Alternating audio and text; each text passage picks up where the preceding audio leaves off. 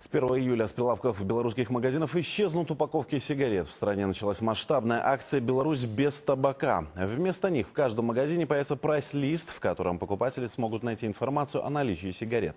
Это нововведение – еще один шаг в борьбе со скрытой рекламой табака. Через год, с мая 2016 года, вступает в силу технический регламент, который разрабатывался на уровне стран Евразийского экономического союза. То есть наши производители должны, табачных изделий должны будут перейти на упаковку, на которой обязательное нанесение графическое, нанесение предупреждающее, э, и размеры этого графического изображения, предупреждающей надписи 50% на лицевой и обратной стороне пачки сигарет. Итоги масштабной акции «Беларусь без табака» подведут уже 31 мая, во Всемирный день отказа от курения. Отмечу, по последним данным, за год от вредной привычки уже отказались порядка 10% ранее курящих белорусов.